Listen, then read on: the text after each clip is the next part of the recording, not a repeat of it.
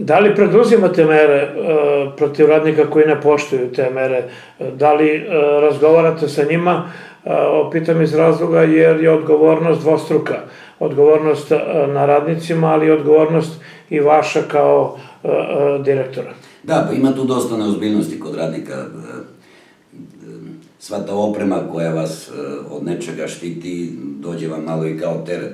Nije baš lako nositi te cipele sa tom kapom, one su nešto teže, nije lako nositi neke prsluke ili već, već da, tako da šlemove, tako da radnici mislići da im je to opterećenje često beže od te opreme, lakše im je da su bez nje i onda svakako treba na to ukazati. Kažem, mi imamo, pored toga što se svaki od rukovodioca službe i poslovođe e, bavi tim stvarima. Imamo i e, radnike koji radi upravo na, na zaštiti svih radnika, tako da pokušavamo da ih stalno držimo u toj opremi, u nekom zaštićenom stanju, bez obzira što nekad oni nemaju, nemaju dobru volju da sami da. sebe zaštite. Koliko ja znam, pratim rad komunalca, vi daleko bilo neki poseban incident do sada niste imali.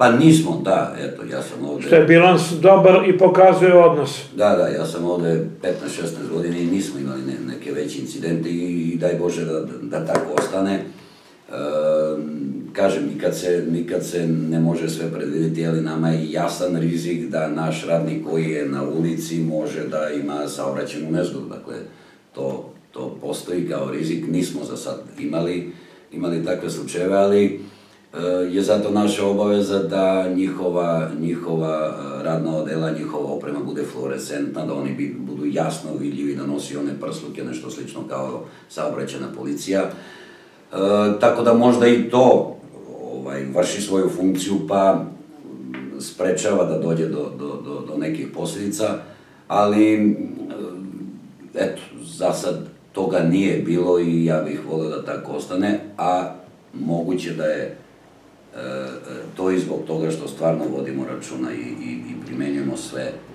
vidove zaštite.